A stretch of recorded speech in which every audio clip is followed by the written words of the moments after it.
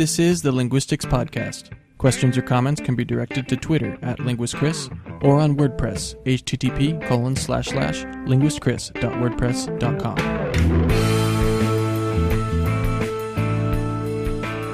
Hello and welcome to episode 3 of the Linguistics Podcast. My name is Chris, and today we're going to be talking about phonology.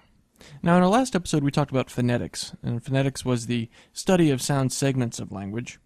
That concept is sort of expanded upon by phonology. Phonology looks not at the sound segments, but how they go together and how they fit together, and the rules that govern their distribution. Okay? Uh, so, the first sort of crucial aspect of phonology is the concept of a phoneme. Now, one thing I forgot to mention in the phonetics episode is that a sound segment is also called a phone. Okay, uh, when when linguists talk about different phones, we are talking about different sound segments. Uh, but a phoneme is a concept which is specific to phonology because it it uh, relies upon uh, how the phone is distributed within words of a given language. Okay, uh, so let me tell you what I mean. For a phone to be considered a phoneme, it needs to be able to carry a difference in meaning. Okay, so if you remember the concept of a minimal pair, that was two words which were uh, separated only by a single sound segment or a single phone. So these would be things like um, uh, taught and pot, right? They're separated only by the p or the t at the beginning. Um, so right off the bat, we can tell that uh, uh, p and t are contrastive. That is to say that they're different enough from each other that, that in English they convey a difference in meaning uh, if you have a minimal pair. Um, now, what is it behind a phoneme? Why do we have to have this extra concept of phoneme? Well, as it turns out, it's not as simple as t and p differences. Okay. Now, I mentioned something at the very end of the last podcast, and this I think will illuminate the concept of phoneme the best, uh, and that is aspiration. Aspiration. Okay.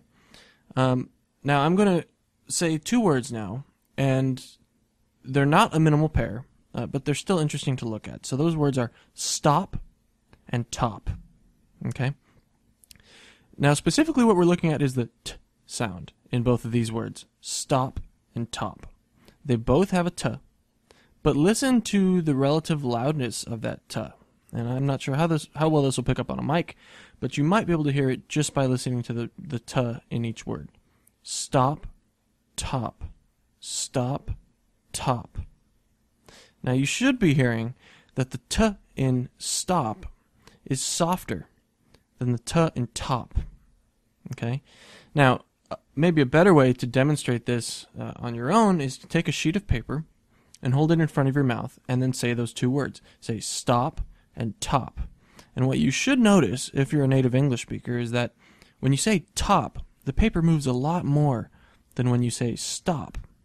And why is that? Well, as it turns out, there is a phonological rule in English that says if you have a uh, a, voiceless stop, so that would be t is voiceless and a stop. Um, you will, if it's at the beginning of the word, you aspirate that stop. That is, you you add a little puff of air after the stop. You exacerbate the release of the stop, as it were. So the word top has an aspirated T, and the word stop has an unaspirated T. Why? Well, because the T is no longer at the beginning of the word in stop. It's after the S. Okay? Now, this is a rule that everybody knows subconsciously. Every speaker of English knows subconsciously. Um, you'll notice that you do this whether you know about it or not. Uh, you don't aspirate the T in stop and you aspirate it in top. It's just how English works. It's one of its phonological rules. Now, I should mention that when I say phonological rules, I'm of course talking about rule-based phonology, which is uh, only one aspect of phonology. Um, most of this podcast will will be covering rule-based phonology, but I will go uh, into an alternative viewpoint of the field at the very end of this podcast. Okay, um, so what does this have to do with a phoneme? Well, can we make a meaning distinction between a minimal pair, which is separated only by aspiration, well, this is a this is a hard thing to do because we know that generally in English, uh, the aspirated sounds only come out at the beginning. So we'd have to have an unaspirated T at the beginning. Now, right off the bat in rule rule-based phonology, that breaks the rule. So that would never occur. But we can prove it by simply making up that word. So the word top with an unaspirated t would come out top. Top. Okay? Now, it probably sounds a little funky, but you wouldn't claim that it means differently from the word top. Top, top, top, top. It probably sounds a little bit like a D, maybe, but it's not a D, right? Because if I say the word dop, it's definitely different, right? Um, so what we can discern then is that top and top, the t sounds there, unaspirated and aspirated t, both belong to the same phoneme. Why? Because they represent, in English, they represent the same sound. They're both T's. Okay? Now, the fact that one shows up uh, where the other one does not means that they are in complementary distribution. In other words, you never find a devoiced or voiceless stop at the beginning of a word unaspirated in English. And likewise, you never find an aspirated uh, uh, voiceless stop not at the beginning of the word. Uh, therefore, they are in complementary distribution. One shows up where the other doesn't.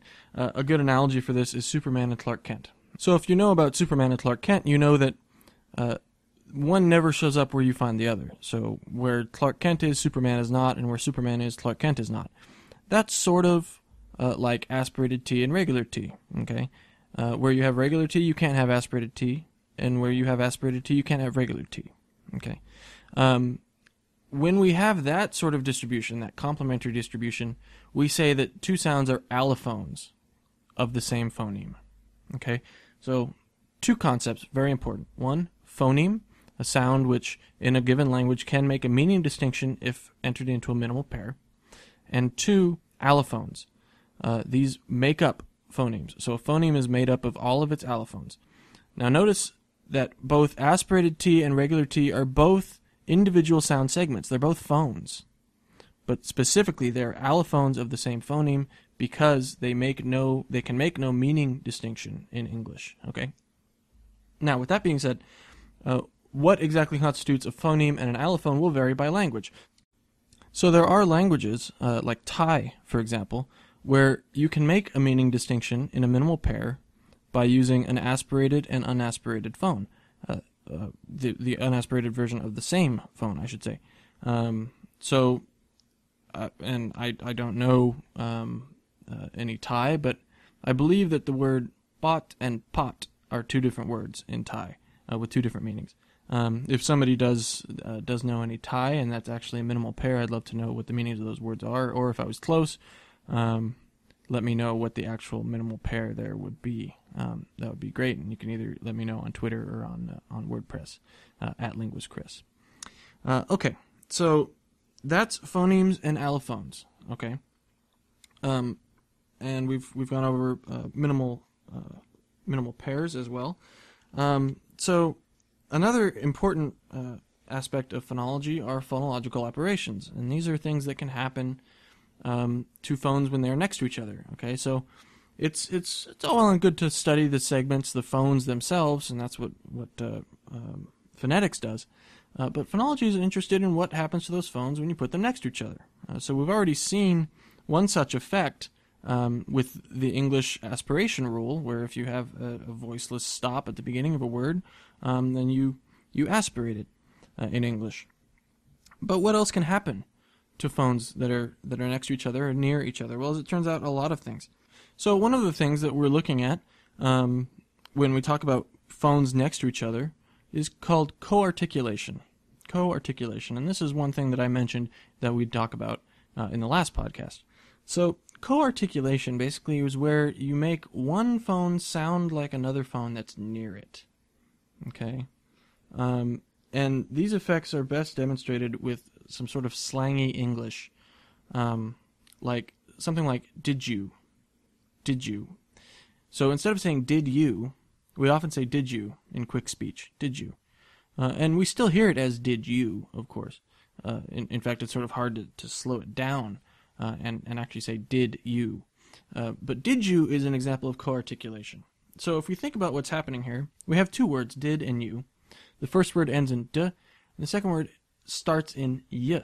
Y is what's called a glide. It's a palatal glide. It's actually a type of, uh, well, I suppose you could you could call it a vowel in some cases, but uh, glides normally are, are, placed into their own category of sounds. Uh, and duh, of course, is a voiced stop, a voiced alveolar stop to be specific. So, if we have these two sounds, uh, what happens to change that duh and the y into a j? Well, if you remember from the last episode, we mentioned that uh, a sound segment, which is a, a, mixture of a of a stop and a fricative, is called an affricate. Okay. Um, uh, an example of an affricate is j. Okay. And it turns out what happens is we take the the uh, alveolar feature of the d and the palatal feature of the ya, and we mix them together into an alveopalatal affricate, j. J is voiced uh, because both d and ya are voiced.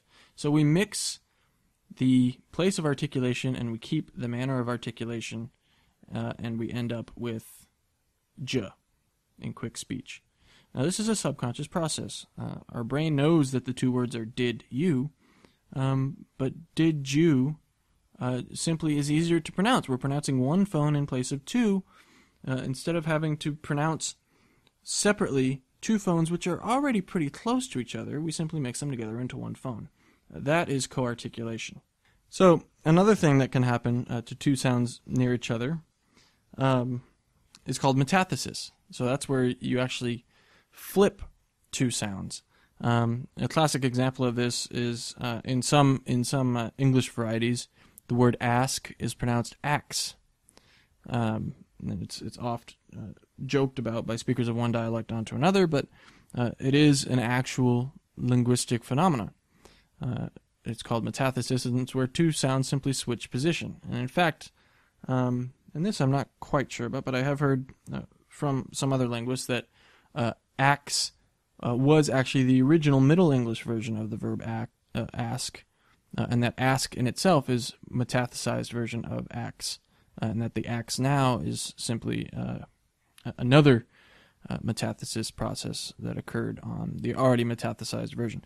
Um, whether or not that's true, I'm, I'm not too sure, but it's certainly possible um, with how these things sort of work. Okay, and then we also have um, something that's related to co-articulation. It's called assimilation, and assimilation is also a very, very common phonological process. And what assimilation governs are things like uh, in English, and this most people find this the, the most incredible that, that such a complex process uh, all native English speakers know subconsciously. Um, but if you say uh, a word uh, that's called a nonce word, that is a word that doesn't exist, um, and you ask somebody to pluralize it, it turns out that you can pick out a, a very interesting um, phonological process that nobody ever gets wrong in English. Okay, so I'm going to think up three words at random, and these are just nonce words, fake words. And those words are spac, sporn, and spiz. Okay, spac, sporn, and spiz. And uh, as a native English speaker, I'm just going to ask all you listeners to pluralize those. So I have one spac or I have many blank. I have one sporn or I have many blank. And I have uh, one spiz or I have many blank. Now you'll notice you actually just produced three different plurals based based on the phonology, the, the phonological rule that you know subconsciously. So spac plural, we all say spacs. Sporn plural, we all say sporns. And spiz plural, we all say spizzes. Okay. So what are the what are the plurals? Well, uh, it looks like we have s for spacs, z for sporns, and is for spiz, spizzes. Um, the is I'm going to leave until the next episode, which will be on morphology. I think it's better examined in, in morphology. Um, but let's look at the s and the z. Now, what exactly governs where you use the z versus the s in the plural? Uh, so spacs, we used the s because s is voiceless, and uh, k at the end of spac is voiceless. Um, and we used likewise we used the z in sporns because n, the uh, voiced nasal alveolar nasal, uh, is voiced. Uh, so we matched the voicing, uh, and that dictated which ending we use. Now, the endings themselves, the z and is, uh, are called morphemes, and we will get onto that in the next uh, episode of this podcast. But the distribution of those is phonologically motivated, and that's why I mentioned them here. Um, so assimilation is a similar process in which you take one feature and put it onto another sound. Uh, so you could argue um, that uh, having this after a voiceless stop is sort of a form of, of assimilation. Uh, really, what we would, we would want is something word medial, so something in the middle of a word that assimilates into something else. Um, so, uh, one example would be um, the verb have and have to. So, uh, a, a, sentence could be something like, uh, I have to go tonight. Notice we don't say I have to go tonight because that v is voiced and the t at the beginning of to is voiceless. And so we, we like to sort of make um, the v voiceless to match the t because it's easier to pronounce that way. So we almost always say I have to go instead of I have to go, right? Um, just for ease of pronunciation. And that, in a nutshell, ease of pronunciation is what sort of motivates all these phonological processes and rules, right? Um, a lot of them can be can be sort of delimited to to uh, making things easier to say. Okay, so the rule-based phonology that we've been talking about so far um, basically means that every the, the theory behind it is that every language will have a set of rules which governs uh, where phonemes will be and what allophone will be realized in what environment, right? So if you have uh, a a the environment of at the beginning of a word and you have a voiceless stop, uh, the rule in English says you aspirate that stop and you what's realized is the aspirated variety, the aspirated allophone of that phoneme. Okay. Um, there is another competing theoretical basis for uh, how uh, different forms are realized in different languages, and it's called optimality theory. And I'm only going to sort of gloss over it just to show that there is an alternative to rule-based phonology. Uh, some phonologists sort of scoff at rule-based phonology now. Uh, rule-based phonology has been the traditional way to look at uh, things of this nature.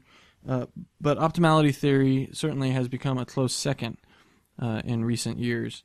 Um, so optimality theory came originally as a brainchild of uh, Alan Prince and Paul Slom- blah, I always get his last name Smolensky.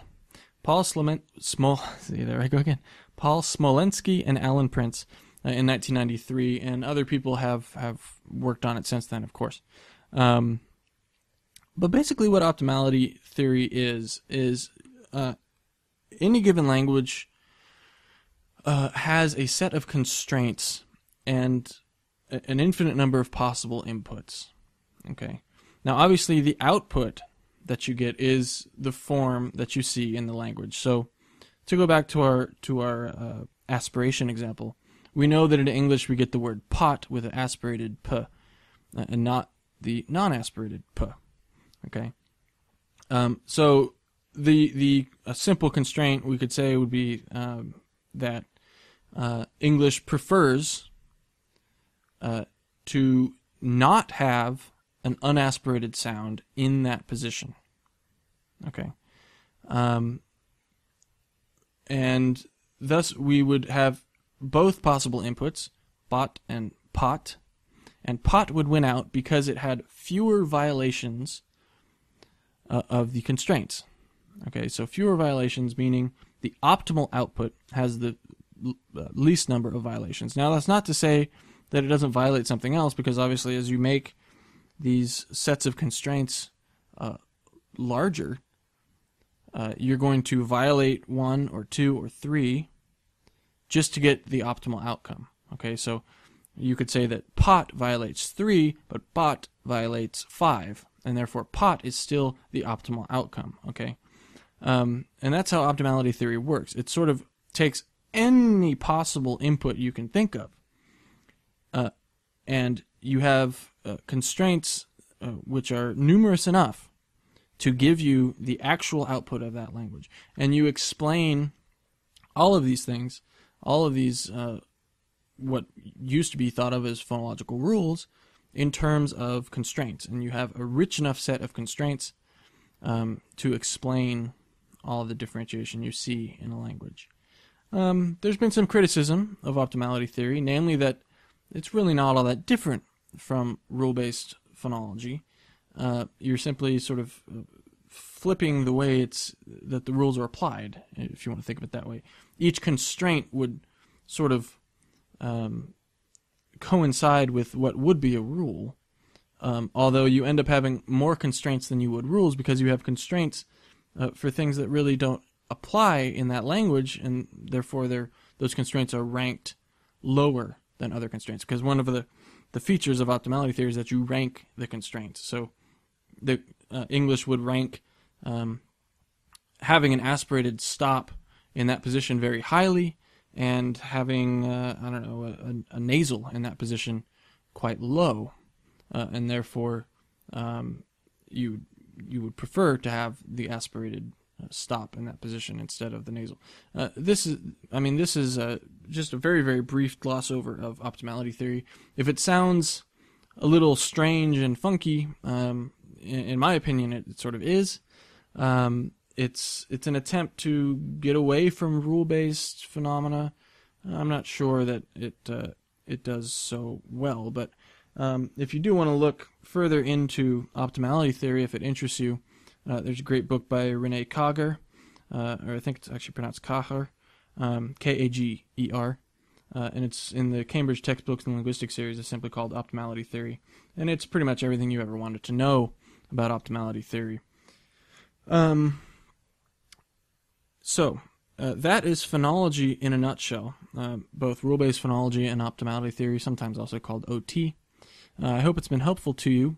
Uh, in the next episode, we'll be talking about morphology. Uh, morphology is the study of uh, the smallest form which can be associated with a meaning. So, um, morphology, if you know your Greek roots, is the study of form. Um, it's it's in in linguistics it's the study of forms which are associated with meanings. You'll note that uh, so far in phonetics and phonology we have not dealt with segments which can handle their own meaning. Uh, in phonology we've looked at segments which can deliver a change in meaning across two uh, words in a minimal pair, but the sound t or p in themselves do not carry a meaning. Okay, they're simply building blocks for words. So in the next episode, we'll talk about uh, forms that actually carry meaning and uh, things that can be uh, can be examined with those. So uh, once again, thank you for listening. Um, I'm on Twitter at linguistchris, and I'm also on WordPress uh, at http colon slash slash linguistchris.wordpress.com. Drop me a line if you get a chance if you have any questions, comments, or concerns. And thanks again.